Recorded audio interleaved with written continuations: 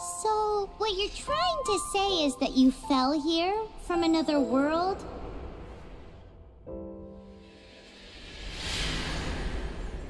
But when you wanted to leave and go on to the next world, your path was blocked by some unknown god? Outlanders, your journey ends here. The sustainer of heavenly principles. The arrogation of mankind ends now.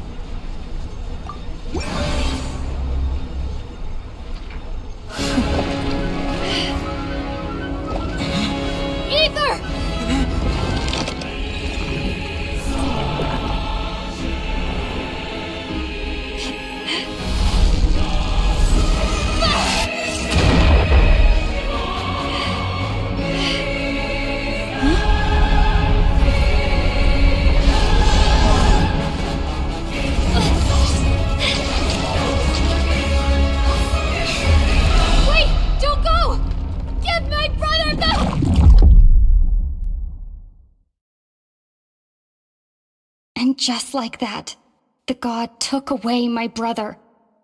Some kind of seal was cast upon me, and I lost my power. So whilst we used to cross world after world, we are now trapped here.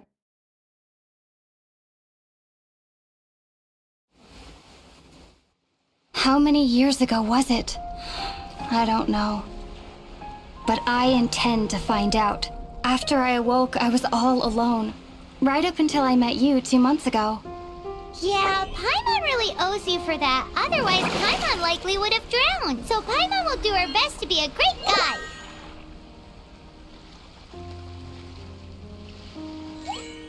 We should head off. Let's get going.